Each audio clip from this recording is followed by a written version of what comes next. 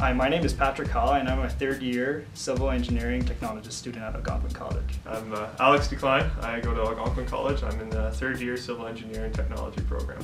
My name is Emily Hoekstra. I'm a third year civil engineering technology student at Algonquin College. Hello, I'm Craig Schooley. Uh, I'm a third year civil engineering technology student at Algonquin College. Uh, for our applied research project, we are testing the new fractal tectonic paver. Um, the concrete versus uh, asphalt, um, which is what the fractals are made out of, is concrete.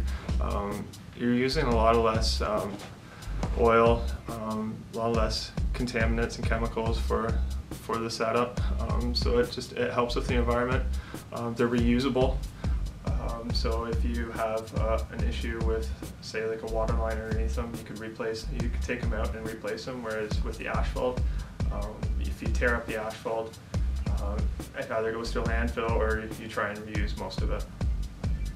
They're not gonna they're not gonna deteriorate quite as much as asphalt. They're not gonna they will allow for some movement, which asphalt any movement will will uh, cause some cracking, cause potholes, and eventually just uh, kind of be damaging to to the road in general fractals compared to asphalt. They're concrete. Concrete typically lasts longer and is more durable than asphalt because asphalt deteriorates pretty quickly with um, heavy traffic. It's used all over Europe and, and here in Canada we have the, the unique Canadian freeze thaw cycle which damages asphalt roads and uh, it really creates lots of potholes and heaves up lots of asphalt if you have like a small inconsistency with the soil you're using when you're packing in under the asphalt.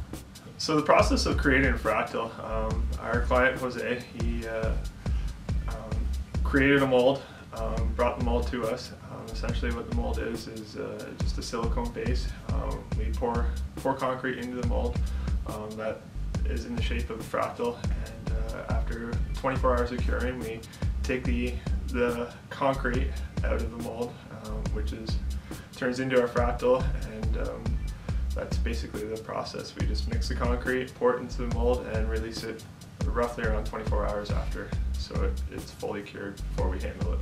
The idea behind using the fractals um, as far as the environment goes is it's during heavy precipitation it's supposed to contain the runoff instead of letting it run off through the sewer system which will overflow into the river and untreated water goes into the river.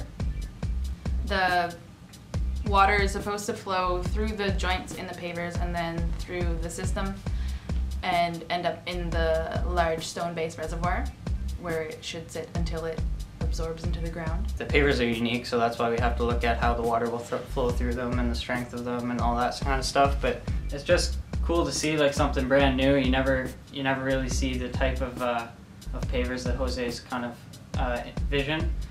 It's uh, got a really really unique design where where they lock into each other really nicely. It's a it's a different shape. People tend to like different, so if this thing uh, goes on the market, I think that people really some people might really take to it. It's got sort of a modern look to it, so that's kind of nice. Yeah, it's my experience with working uh, with fractals uh, with Jose and Fractal Tectonics. Um, it's, it's been a really great experience, it's been positive. It's, it's been exciting to see see the outcome of, of our research and, and what, uh, what can be achieved uh, with new technology. And, and um, it's, it's been fun to, to see um, the beginnings of a new product for the market. They will, they will last a lot longer than asphalt. Uh, asphalt deteriorates quite quickly when dealing with like the Canadian freeze-thaw cycle, uh, the de-icing agents, everything, uh, the smallest, smallest imperfection in asphalt can, can grow very quickly in the long run, they, they will break even for asphalt or possibly even surpass, depending on the strength of the concrete, the way the system is implemented.